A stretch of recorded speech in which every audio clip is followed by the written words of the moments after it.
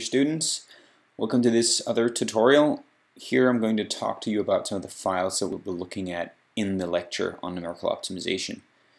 In particular, uh, I'm going to explain to you how the one-dimensional approximation works and how to play around with the two-dimensional approximation.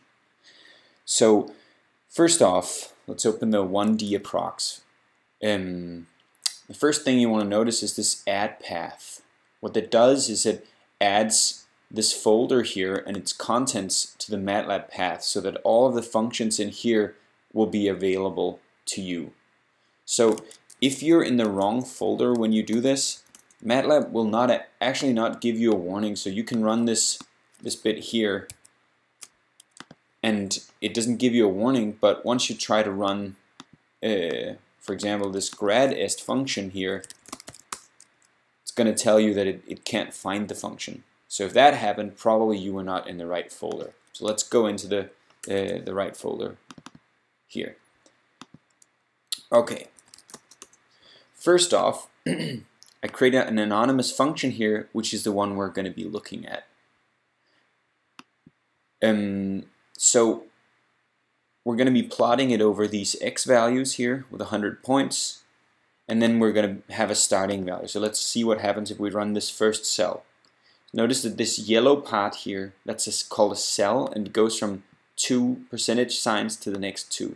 So it's a neat way of organizing the code. So if I just hit Command Enter or Control Enter on Windows, it just runs that section and it plots this function for me and the starting value here.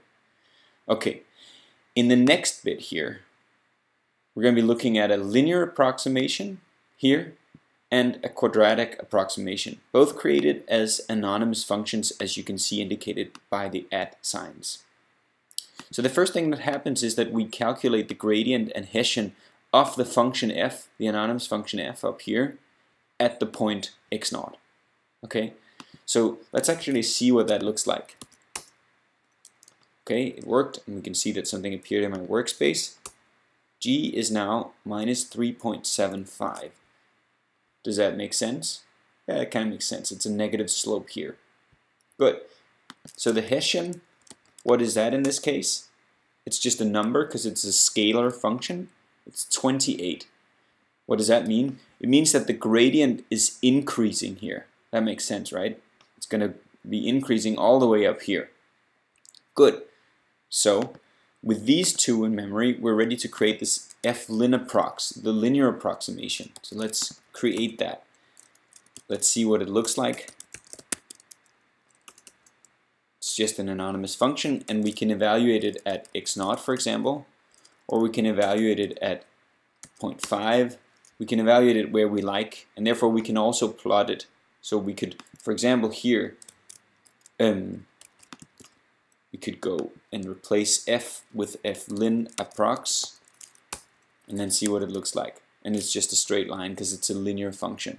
Okay? So if we do the same thing with f quad approx, then we get another anonymous function, f quad approx, that we can evaluate at say 0.5. We get a number. And we can also go up here and replace this part here with f quad approx. And we see that it's a beautiful parabola. Okay, so let's run this entire section. What happens is it finds the minimum of the quadratic function. Okay, you can work through the math, and this is the equation for the minimum.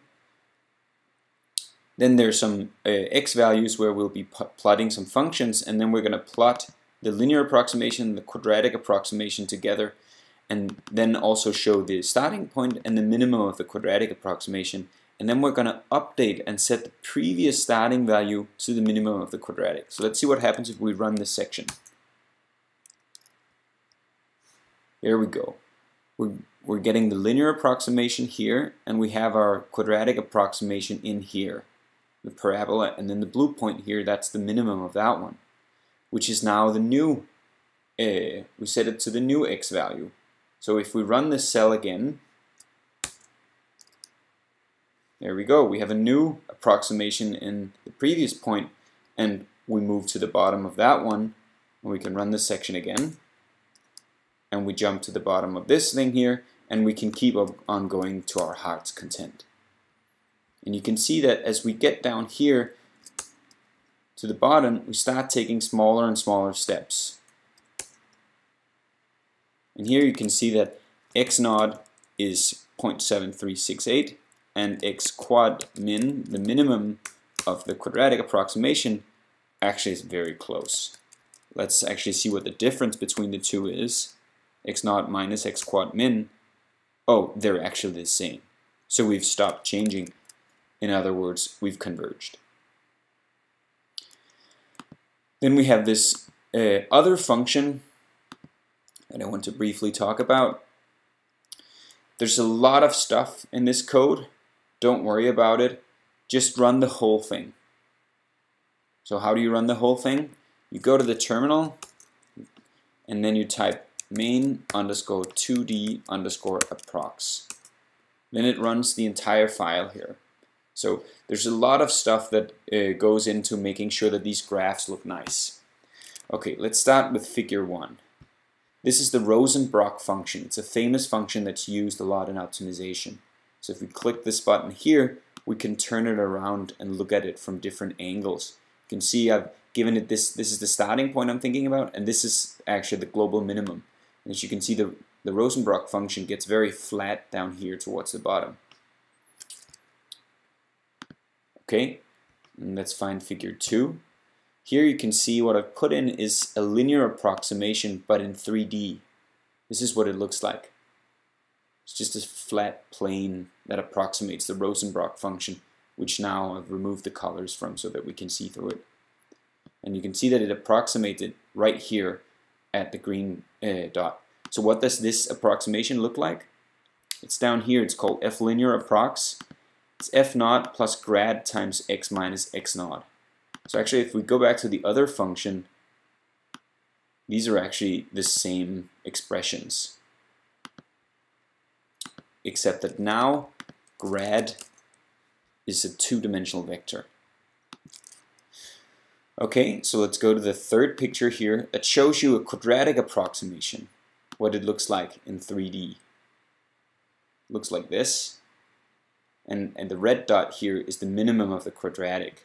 And you can see that if we go down here to the quadratic approximation part here, that if uh, the minimizing here, the fun uh, the expression here, x uh, hess backslash grad, which is the same as writing hess to the minus first times grad. It's just MATLAB notation for uh, doing that it's actually the same here, g over h, or in other words, g, uh, h to the minus first times g.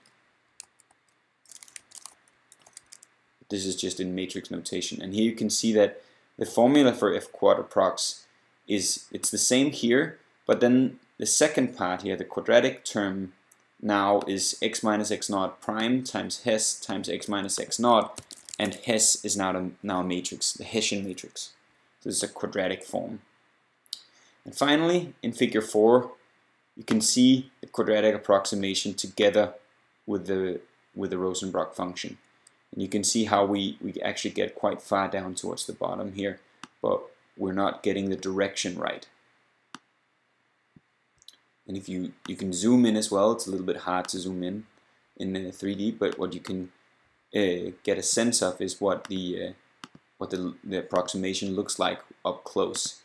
Here you can see it. You can see it gets pretty uh, pretty close to the true function as we zoom in. That's all I wanted to show you about these uh, functions. Looking forward to talking about them in the lecture.